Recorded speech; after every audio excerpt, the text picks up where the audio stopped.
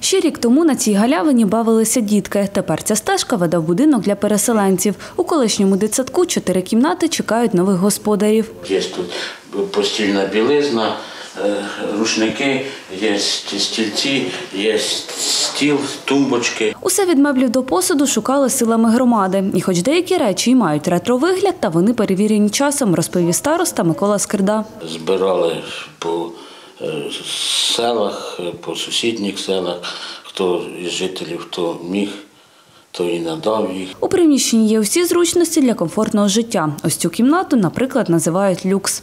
Оскільки тут знаходяться ліжки, все необхідне для осіб, а далі е, прямий вхід у е, санвузол.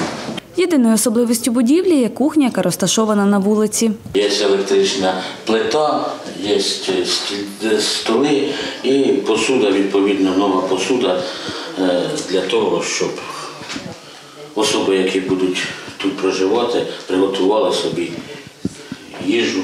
У приміщення хочуть заселити людей, аби воно не пустувало та не руйнувалось, говорить пан Микола. І, і сьогодні можуть заїжджати. Все тут готове для того, щоб приїжджали і комфортно проживали. А це гуртожиток на базі одного з медзакладів. На подвір'ї розстріляна автівка. Саме вона врятувала людей, які оселилися тут. 19-річну Анастасію війна змусила покинути рідний Харків. Ця маленька кімната стала для дівчини новим домом, поки її хлопець боронить нашу державу. Головне, щоб тихо було. Мені це ну, важливо. Я не знаю, я з Харкова тікала як могла. ну, як одна велика родина. Не знаю. Ну, ми задовільні. У нас немає ніяких конфліктів, до нас гарно ставляться. Е, Немає ніяких е, там принижень, притиснень. Нині тут вільно 24 місця. І з початку повномасштабного вторгнення Драбівська громада прихистила 1700 переселенців, розповіла селищна голова Світлана Орел.